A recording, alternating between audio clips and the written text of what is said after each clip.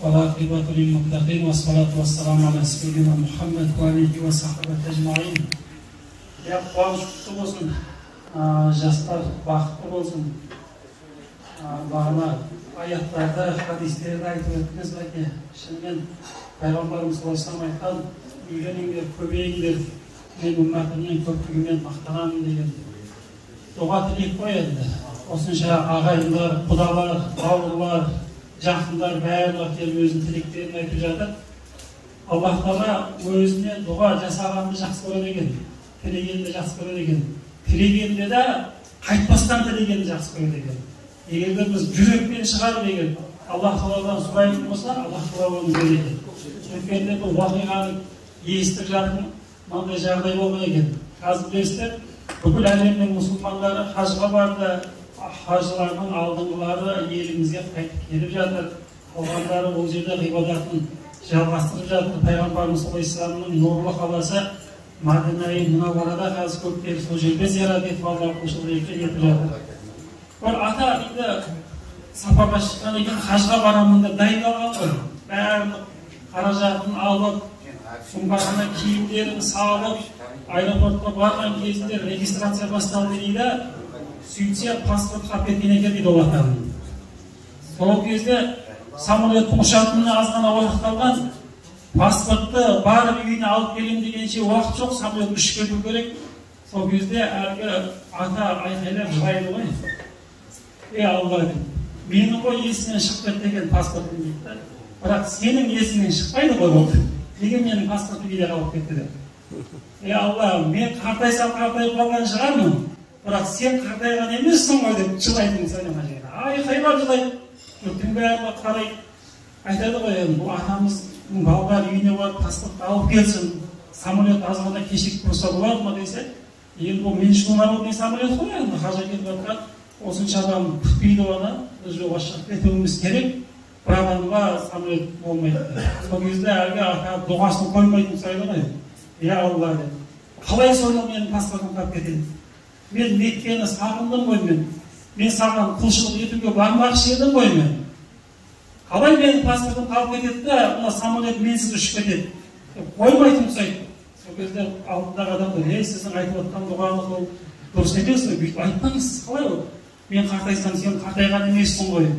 Мен есімнен шығарсам сен есіңнен шығармайсың ғой. Қалай менің паспортым қалып кетеді деп айқайлап жылап айтады дейді сол кезде әлгі ата ұрысып жіберіпті. Сен дейді раббыма мен жалыныватырмын сен емес. Мен тыныштау өзім дұға жасап жатырмын қанша қоймайтын ұқсайды сөйтіп тұрған кезінде әлгі регистрация бітеді ұшатын самолет. Ұшпайды ғой.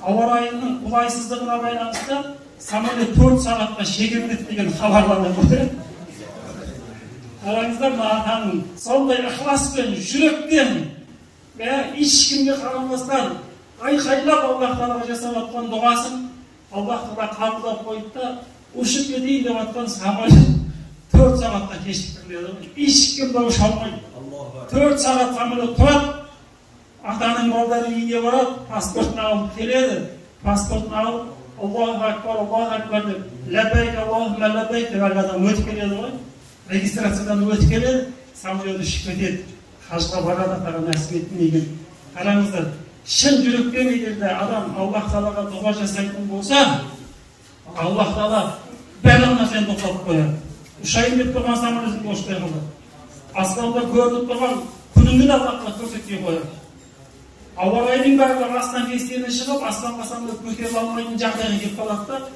ұшып жүрген адамдар біледі ұшамын деп тұрасың да кейде самолет бес сағат алты сағатқа шейін шегеріле береді аспан ашылғанша ғой енді. Бұның бәрі алланың қолындағы нәрсе ғой. Мына осынша адам сізге тілек білдіріп келіп отыр қызыңызды алып кетуге келіп отыр. Иншалла бәрібір бұл жерде шын жүректен аллаға дұға жасайтын бауырларымыз аллах тағала дұға тілектерді қабыл етсін дейміз. Екі жас бақытты болсын дейміз өздерінен өздері көбейсін дейміз. Бағана айтты ғой мінезі бар деп. Мінезді өте жуас жақсы жігіт иншалла. Бала шағасы сондай дінге қызмет ететін тақуалы болуын нәсіп етсін мына жиынды көріп өзіміз де қуанып отырмыз әдемі жиын бар ер адамдар өз алдында әйелдер өз алдында керемет отырыс болып жатыр алла қабыл етсін бақытты болсын жастар ассалаумағалейкум бәрекелді ұстаз көп рахмет тілек ниетіңіз қабыл болсын керемет. Ә, жаны азықтанатындай әдемі негізі ардақты ағайын деймін да бәрі алланың қолында ғой мен мына ортаға келуіме негізі ә, келмейтін едім мен маған дейін бір екі тамада келу керек болды негізі алла нәсіп қылған екен менің атам жаңа айтып өттім ғой жетпіс тоғыз жасында дүниеден өтті сол атамды ұл қыздары болып ақша жинап жаңағы меккеге жіберетін болдық сол кезінде құдайдың құдіреті ұша алмады жағдай болды ұша алмады компанияға салған ақшамызды қайтарып ала алмадық сөйттік та бірақ атаммен аэропортта жаңағыдай дұға қылған жоқ бірақ әйтеуір бара алмағанда сәл қынжылды бірақ атам бір миллион теңгедей ақша салғанбыз сол үлкен қажылыққа сонымен келесі жылы бардық атам келесі жылы әйтеуір ептеп жинап атамызды жіберейік өзі жазушы кісі қанша жыл елу жыл ұстаз болған сол атам сонда келесі жылы барған кезінде акбар қажы атанды ғой үлкен сертификат алып келді жиырма бес күн үлкен қажылықта болды сол атамның тәрбиесін көріп бүгін міне сондай аллах сіздердің алдарыңызға келіп осындай жақсы сөздерді айтуды біздерге де нәсіп қылған екен. Ұстаз көп рахмет аман болыңыз. Мен жаңа айтып өттім ғой. Менің бір жазған бір өлеңім бар еді. Ә, біз имансыз адасып сенделерміз қашан дерттен айығып емделерміз?